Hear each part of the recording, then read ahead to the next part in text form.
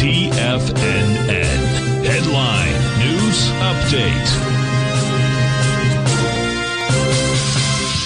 Welcome, folks. We had the Dow Industrials finish up 69, Nasdaq up 39, S&P's up 15. Gold, gold contract down $25.60, trading at 17.38 an ounce. We had silver up 3 cents, $19.16 an ounce. Platinum off 470, 846 an ounce. Light sweet crude down a buck, $98.42 a barrel. Notes and bonds. A 10-year note down almost a full point. Uh, that's down a full point, 118.29. The 30 year off a full point, plus 24 ticks, trading out at a price point of one third.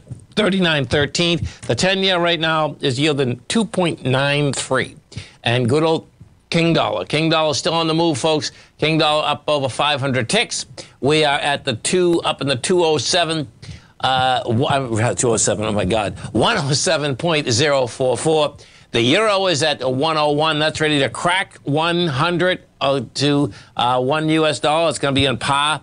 Uh, and if this dollar goes to that 121, where I expect it's going to go, folks, you're going to be buying euros at 87 to 82. Pretty amazing.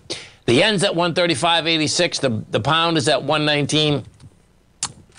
We're going to take a look at the S&P. What you're going to see out here, you know, bottom line, um, you have light volume having a hard time holding price. You know, sideways market out here today. You did 64 million shares while you're coming into 86 million shares. You got to a price point of 385, couldn't hold at 383. Sideways market. That's that's the bottom line with lighter volume.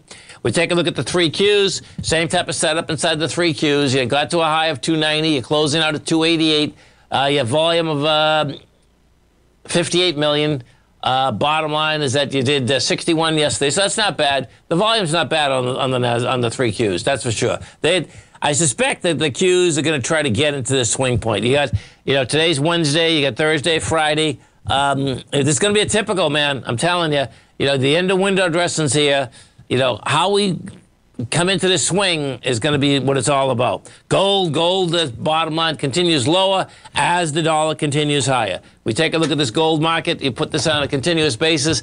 These uh, bars normally don't come in twos, folks, okay? Meaning, you know, you have two big bars on the way down.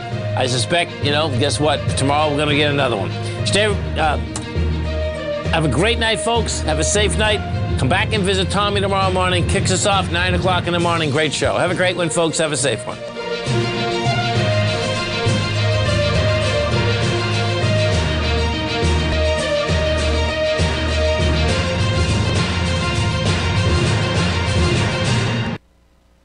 Sharpening